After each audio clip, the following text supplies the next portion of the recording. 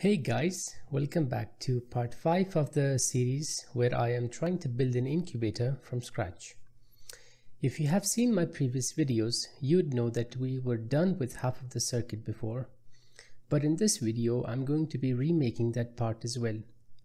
The circuit was fine in that video, but it was just a bit messy. So I'm hoping to make a better and neater version of that circuit. I am also going to show you a motor controller circuit with relays and an AC heater controller that we will be able to control with Arduino. This video is going to be a long one because I wanted to complete the whole circuit in one video so that we can move on to the programming part quicker. Just a note before the video begins that I have personally tested the circuit and made sure that there was nothing wrong with it. The reason I'm saying this right now is because we are going to be working with AC in this video. So just wanted to say to be careful Try to use a fuse in series with AC as well as DC since we are going to be dealing with high power and there is a possibility of shock as well as damage to your microcontroller. If you just want the schematic and don't want to watch the video, I have included the schematic link and all the links you will need to make the circuit. That includes videos from other channels explaining the concept used in this video in much more detail so be sure to check out the description after you watch the video. So just as usual, going to add an Arduino Nano in the sketch by searching in the EasyEDA library. It doesn't need to have a proper PCB footprint since we are only planning on using it inside the schematic. I will not be making this PCB compatible schematic because that would just take more time. Maybe we can do it in the next part or maybe in the next version, but not in this video. So I'm going to choose a 2-pin 2.54 inches connector that is a standard Arduino connector by the way uh, and place it inside the sketch. So you are going to be noticing a difference in wiring in this video. This is because I'm using net labels or net ports in this video. The way they work is that if you have net labels connected to let's say 5 different terminals then they are all going to be connected together when we go in the PCB view, provided that all of them have the same name of course. So I'm going to choose a net port here and name it 12 volts and connect it to the terminals of the connector. This is where we're going to plug in our 12 volt power supply and I'm going to connect the other terminal of the connector to ground.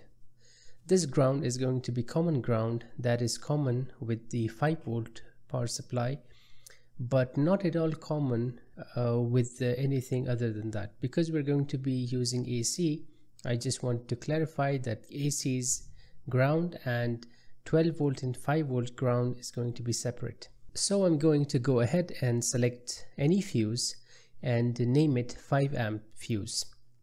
Again, since we are not going to worry about the PCB part in this video, footprints or choosing the right symbol is not really that important and here I am going to put the fuse in line with the 12 volt. As I have said earlier, try to be careful with this circuit. I'm using a fused plug for the AC and for DC I'm using a power supply that has internal short circuit protection. If you follow my circuit exactly the way it is, you have nothing to worry about. But if you want to experiment and try new things, then the fuses and short circuit protection will be important. Now I'm quickly going to choose the real-time clock and connect it to Arduino. I have a DS3231 but you can use DS1307 RTC as well since they both use I2C protocol. But a few changes in the code are necessary for it to work. If you can't find your RTC in the library, just choose a 4-pin connector since they all need 4 pins to work. I am going to connect ground to common ground and I'm going to use a 5 volt port just to be explicit. We could have used VCC port, but then again they are just names. The more explicit you are, the better. Just like I connected the 12 volt port to the connector, I am going to make another port and connect it to SCL and SDA pins of the RTC connector and I'm going to name them SDA and SCL. Just copy the port themselves and paste anywhere in the circuit and connect it to pin A4 and A5. If you are using another microcontroller, the I2 pins might be different, so check the datasheet to know which pins are which. I haven't done a very good job of pulling these two pins up to 5 volts, but I am sure you can do it better than me. I am just going to speed this up a little bit until I have positioned the pull-up resistors correctly. If you recall from the previous video, I said that we are going to be using a 16 by 12 LCD that works on I2C. Well, I found something better and cheaper and frankly prettier. We're going to be using this OLED there isn't much difference when it comes to its connection since both use I2C and are 5 volt compatible. Here I have chosen in the schematic a nice and neat picture of the OLED, but you can use any 4 pin connector and it will work the same. I am just going to connect the SDA and the SCL ports to its terminals and this is where you can see the benefits of the net system. Instead of connecting all the SCL and SDA lines directly to the Arduino with physical wires, we can just connect the labels instead and it will do the same job. If you want to know more about I2C, you can find it in the description. I will link a very good video where you will learn more about it. For the temperature sensor, I'm going to be using two sensors, one DHT22 and the other DS18B20, which is commonly used in aquariums and whatnot because it's waterproof and because it's readily available. So that's a plus point. The reason I'm using two sensors is because that I want to take an average of these two sensors when I'm taking a measurement. This will give me a more accurate result than using a single sensor. Also, if one of them stops working, you will have the other one doing its job until you can find a replacement. So I am going to choose a 3-pin connector since it works on one-wire technology. That means we only need one wire to read its data and we can attach many more sensors to that one wire. This does need a pull-up resistor on its data line, so I'm going to pull that line up to 5 volts using a 4.7 kilo ohms resistor. And now I'm just going to connect uh, its port to Arduino's pin, just the way we did with SDA and SCL. Now I'm going to choose a 3-pin connector for the DHT22. We could use a 4-pin connector for the DHT22, but since we are not using uh, one of these pins, why not save the space and go for 3-pin connector instead? It's the same circuit as in the previous video, so I'm going to speed this up a bit. Note that a 10 kilo ohm resistor is needed on its data line to pull it high.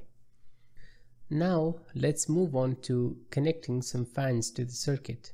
We will be using two fans for this incubator. One will be continuously running which will help the air move inside the incubator, making it a forced air incubator. This will give us uniform temperature values inside the incubator. The other fan is going to be used to move the air out of the incubator or maybe bring the air in depending upon the situation. We will see which route we want to go later. This will help us reduce the temperature as well as reduce the humidity if you live in a humid place where the humidity is naturally higher than needed for the incubator. So just like the previous video, I'm going to be using 2N2222 transistors, which are NPN transistors. They might look small, but they are enough for the job since each one of them can conduct around 800 milliamperes max. The circuit isn't going to be any different uh, than the previous video. We are going to switch the ground lines of load. So let me just go ahead and select a 2N2222 transistor from the Easy EDA library. I'm going to connect the common ground to the transistor's emitter. Now connect its collector to one terminal of the load or in this case one terminal of the connector. Now connect the connector's other terminal directly to 12 volt port. The one thing that I forgot to mention in the previous video was that transistors can be made to conduct a certain amount of current from collector to emitter by choosing different values for base resistors. I will not go into much detail, but we need a resistor that will limit the current of its base under 20 milliamperes. Since an Arduino can only source 40 milliamperes from its digital pins, 20 milliamperes is kind of like the safe area. And in addition to that, we need a current value that will allow the required current for fan. In each case, it's different. So for example, in this dehumidifier fan example, I know that these computer fans take about 200 milliamperes and can reach up to 500 milliamperes when they initially start. So we need a resistor value that will allow around 400 milliamperes from collector to emitter. And according to my calculations, that value comes up to be around 1.2 kilo ohm. But you can go a bit higher or lower depending on your needs. If you want to know more about this topic, I will link a great video from Applied Sciences channel. Now I'm going to make a port for this resistor and connect the same port to the Arduino pin. We have talked about reducing your incubator's humidity if you live in a humid place, but we haven't yet talked about increasing the humidity level of your incubator if you live in a dry place. Fortunately, increasing the humidity is much easier than decreasing the humidity, so I'm going to mention a few ways to do that. First, you can either put a glass of water or a plate of water which has a big surface area. Water vapors will escape from glass of water and increase the humidity. Second, you can boil water inside your incubator if you want to increase the humidity faster, but that will also generate more heat. Third, this last solution is kinda cheap but also good enough for us. We can use a cheap 5 volt humidifier to increase the humidity of the incubator at will. We are going to be using a donut shaped humidifier that is quite popular nowadays. And the good thing about it is that it runs off of 5 volts and consumes about 500 milliamperes. So that brings it just under our transistor's current limit of 800 milliamperes, which means we can use it. This current rating is very close to the current limit of the transistor. And if this had been a continuous running load, I wouldn't choose this transistor and would rather go with a MOSFET. But because we are rarely going to use this and for short periods of time, I think this transistor will be fine for the job. I'm going to finish this humidifier circuit by connecting the emitter to the common ground and making the port for it and connecting that port to the Arduino's pin. So according to my calculations, this resistor value needs to be around 820 ohms, but you can go a bit lower if you want. It's time to make the continuous fan circuit. And for this, I'm going to choose a bit of a different route. I'm going to use an N-channel MOSFET that has a low resistant value between its source and drain pins to generate as less heat as possible. So for now, I will choose IRF 520 since that is the one I have lying around. But when I can, I will change it to something better because this is continuous load and we want control over it, I will use this instead of a transistor. For testing purposes, we can use a 2N2222 transistor in place of a MOSFET, but when we are making the actual incubator, we need to remember to change it. So turns out, just like in transistors, you need a gate resistor, but for entirely different reasons. So MOSFETs gate work as a capacitor. We need to feed current to it so that it charges. Once it does, it shorts the source and drain with a low resistance.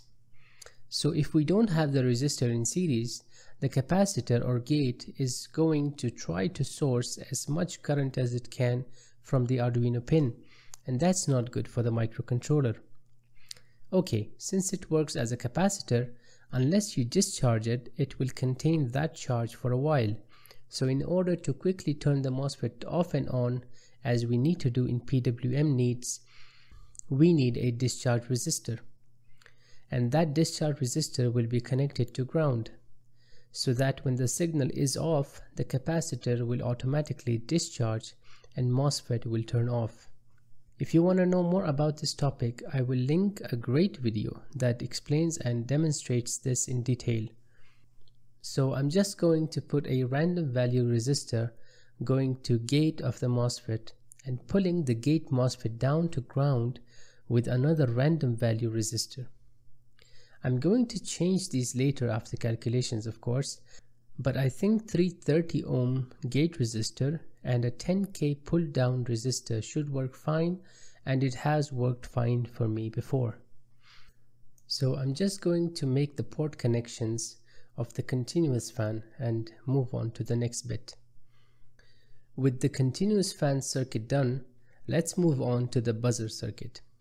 Remember to get a 12 volt simple buzzer and not an active buzzer. We need the buzzer for any alarms, feedback or when things go wrong.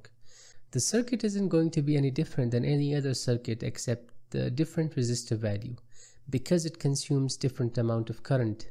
So I'm going to speed this up. Uh, now let's make the motor controller. So you might be saying you have already showed us this circuit in the previous video, so why make it again? Well, the answer is that when I thought about it, some places didn't have a module as fancy as that. They, they just don't have the shops that sell these things. Some people might need to order it from China and wait for it to arrive. So I thought, let's go with something that's readily available at any electric store in almost all parts of the world. So then I found the circuit. It's quite a simple H-bridge made with two relays and it can handle very high currents while being isolated from the rest of the circuit. I will explain how it works but first let me wire it up. Let's go into the EasyEDA library and search for a 5 volt relay. That means a relay that will turn on when 5 volt is applied to its coil terminals. And of course it can, it can handle uh, AC voltage as well as up to 10 amperes of current. And I think I'm going to use this one. Let's go ahead and grab a 2-pin connector, which will be our connector for the motor. And let's connect the connector's terminals to the common of both relays. Since the coil is what turns the relay on and off, I'm going to use a transistor to switch the relay instead of connecting it directly to the Arduino. So I'm going to connect one of the terminals of the coil to the collector of the transistor and connect the ground to the emitter of the transistor. I'm going to repeat the same for the other relay. Now I'm going to put in a random resistor value at the base of the transistors, but I think 1k should work fine. Okay, let's make a copy of the 12 volt port and place it right in the middle of the relays. And make another ground port and place it right beside the 12 volt. Now connect the normally open terminals of both relays to the 12 volt port and connect the normally closed terminals of both relays together to the ground port. Okay, finally, now that that is done, let me explain how it works. As you can see, the motor's terminals are connected to the connector going to the common of the relays. That common will switch when the relay is turned on by the transistor. So the default state is off for this relay, meaning both common pins are connected to normally connected pins. So if you trace the line, you see that in both terminals of the motor, the voltage is 0 volts. So the motor will not spin. Now when we turn on one of the relay, and let the other be in the off state, the one that we turned on now has its common pin attached to the normally open pin and is now 12 volts. Now if you trace the lines you see that one terminal of the motor is 12 volts and the other is 0 volts since it is connected to the off relay. This creates a potential difference and the motor begins to move in one direction. If we now turn off the turned on relay and turn on the turned off relay, basically repeating what we did earlier, now we see that the terminal that was previously 0 volts is now 12 volts and the relay that was 12 volts is now 0 volts. That means that the voltage has been switched. But wait, what happens if we turn on both relays at once?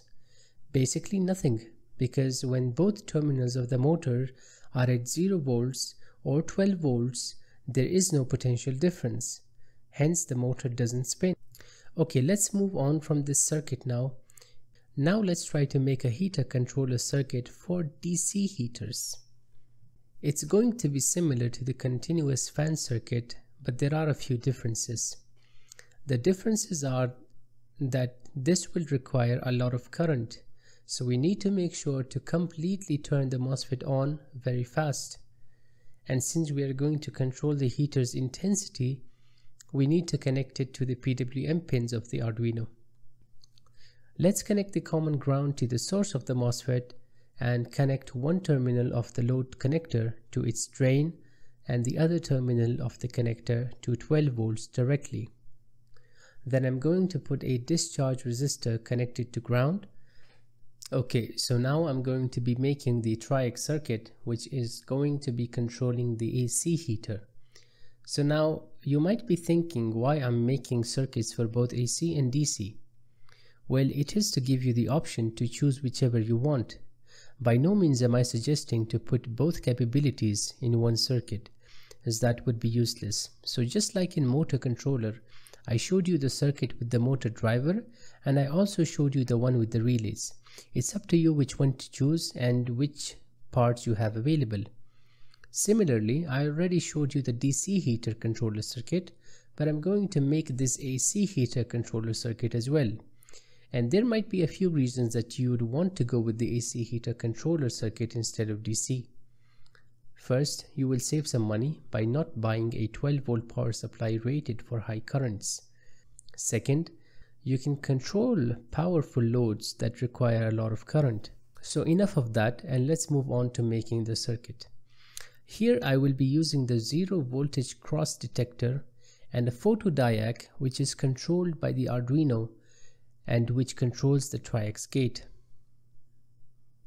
I will explain how the circuit works when I am done making it and I will also link some good sources for more information.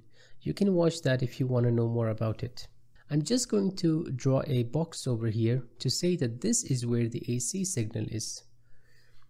Let's go into EasyEDA library and search for MCT2E, which is a optocoupler this will be used as a zero voltage cross detector. What does that actually mean? Well, simply put, we are detecting the zero voltage point in an AC waveform, which is right in the middle of the graph. More on that later. Now, because we need the AC waveform to detect the zero voltage crossing point, we can just connect our mains to a full bridge rectifier. In the circuit, I'm using an IC that will do the rectifying for me, but in my circuit that I made on the breadboard, I'm using simple diodes to make a full bridge rectifier. Anyway, let's go ahead and choose a full bridge rectifier. Let's select a 2-pin connector and connect it to the AC terminals of the rectifier. Now let's connect the positive DC part of the rectifier to the anode or pin 1 of the MCT2E through a 1k ohm resistor and connect the cathode or pin 2 of the MCT2E to the ground of the bridge rectifier. We are doing this to isolate the ground from the rest of the ground in our circuit.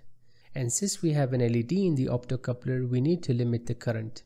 So here I am using 47 kilo ohm resistors that's rated for 1 watt between the AC connector and the rectifier pins. Here I am just experimenting with few connections. I was actually following a circuit diagram made by a very good YouTuber, Techisms. I will link to his video and article in the description below. I was also using another source. His channel name is ElectroNoobs and he has an article also. By improvising and mixing both of these codes and uh, circuit diagrams, I was able to come up with a circuit that worked perfectly for me. Now I'm connecting the collector or the pin 5 of the MCT2E directly to the 5 volts and connecting the emitter or pin 4 to the ground pin through a pull down resistor of 1 kilo ohms. Now I'm connecting a wire directly to the pin 4 or the emitter of the MCT2E and then connecting that wire directly to Arduino's pin 2 why pin D2 specifically? Well, that is a hardware interrupt pin which has the capability to sense fast changing signals. And then there is a function built within Arduino which tells Arduino what to do if a change occurs in this pin and what function to execute. We can't use any other pins because we need fast reaction time and there are only two hardware interrupt pins in Arduino Nano. If you are using another board, do check the available pins and use that. Now this is our zero voltage crossing circuit done. Now we need to make the triac driver circuit with a diac. If you don't know what a diac is or a triac is, just think of them as transistors for AC. They have a gate which when turned on or given voltage to just shorts the uh, two terminals which switches the AC. So for this part we need a MOC3021 IC. But you can use any IC that is photodiac which will drive the triac circuit. Photodiac isn't actually a word. I'm just saying that to refer to a diac that has a capability of switching the diac with LED or with optocoupler. The point is that the IC should isolate the AC from the Arduino signal completely. I'm going to connect the 330 ohm resistor to pin 1 of the MOC and then connect a port called tri gate to the resistor and will then later connect that port directly to Arduino. Don't worry, there is still complete isolation inside the IC. Pin 2 of the MOC will be connected to the common ground or the Arduino ground specifically. Just be careful and don't connect it to the bridge rectifier ground. Pin 3 is not connected. The more isolation we have from the AC circuit the better. While we are at it, Let's make ports for the live and neutral terminals of the AC because we will need it later and it's better than connecting physical wires. I'm also going to connect the appropriate ports to the 47 kilo ohm resistors. Now we connect the neutral to the pin 6 of the MOC through a 1 kilo ohm resistor. Then on pin 4 of the MOC we connect directly the triac pin. In my case, I'm using a BT136.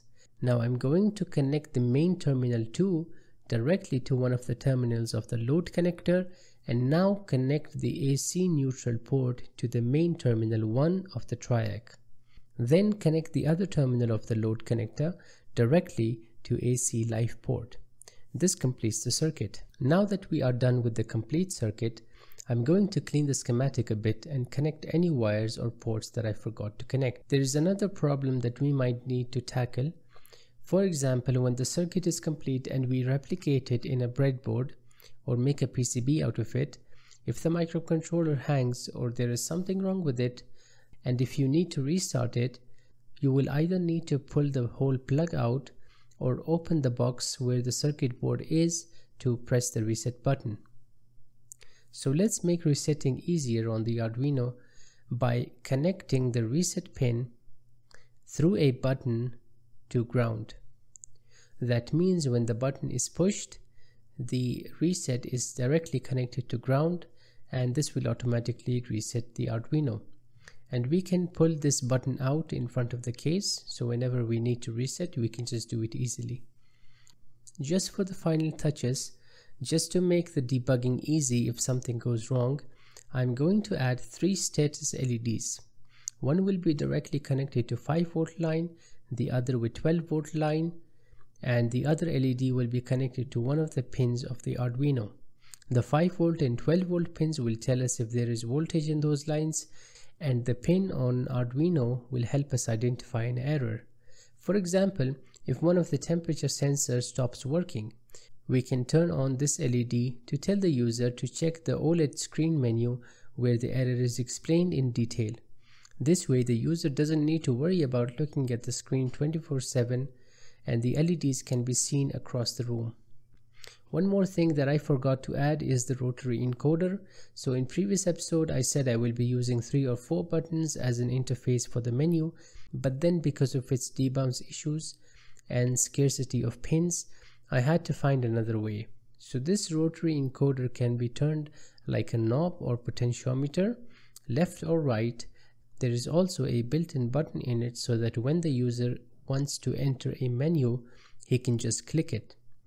So this is a 3-in-1 solution and it looks kinda neat with the OLED side by side. I will leave the rotary encoder explanation for the next video when we start its programming. I have actually replicated the circuit in the breadboard right now and I have checked all the shorts and uh, all the circuits uh, separately that means the DC heater, AC heater, everything is working fine and all the connections are completely okay. Hey, thank you for watching the video guys. I know that the video got a bit too long, but I really wanted to finish the schematic in this one video and then move on to the programming part in the next. I've actually prepared this whole circuit on the breadboard and I thought I could uh, show you how it works but then the video is getting too long so I will save that for the next video. In the next video we will start by programming the incubator and uh, I will introduce to you each and every component and how they work. So if you have any questions or you want to ask or suggest something you can do so in the comments and I will see you in the next video.